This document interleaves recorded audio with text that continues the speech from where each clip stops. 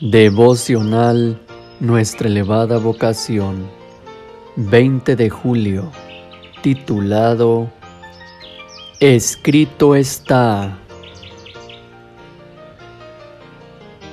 Toda la escritura es inspirada por Dios y útil para enseñar, para redarguir, para corregir, para instruir en justicia, a fin de que el hombre de Dios sea perfecto, enteramente preparado para toda buena obra.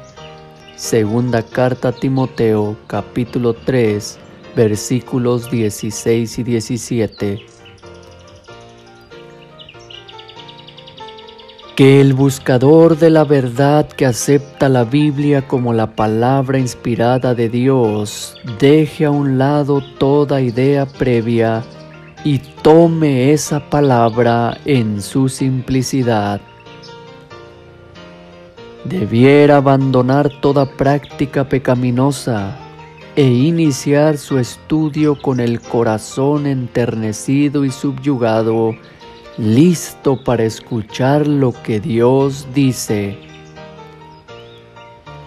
No llevéis vuestro credo a la Biblia para leer las escrituras a la luz de ese credo.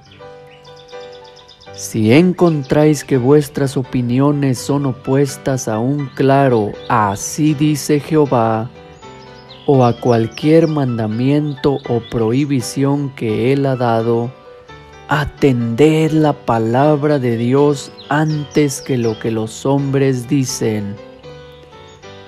Que cualquier controversia o disputa sea resuelta por un escrito está. Que el corazón sea enternecido y subyugado por el espíritu de oración antes de comenzar la lectura de la Biblia la verdad triunfará cuando el Espíritu de verdad colabore con el humilde estudiante de la Biblia. Cuán precioso es el pensamiento de que el autor de la verdad todavía vive y reina. Pedidle que impresione vuestras mentes con la verdad entonces será provechosa vuestra investigación de las escrituras.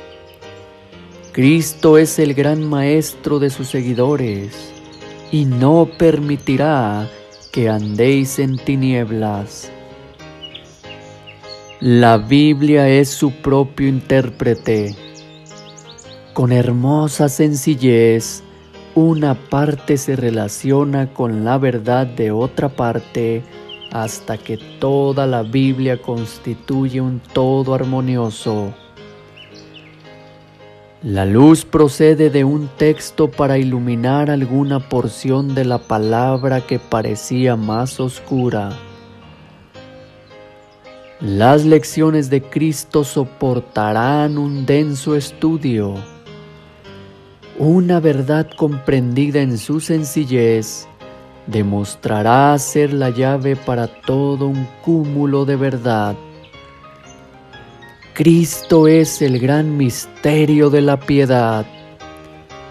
Él es el Maestro que esparce los dorados granos de la verdad, los cuales, para recogerlos y unirlos en la cadena de la verdad, requieren tacto, habilidad, profundidad, y laboriosidad de investigación.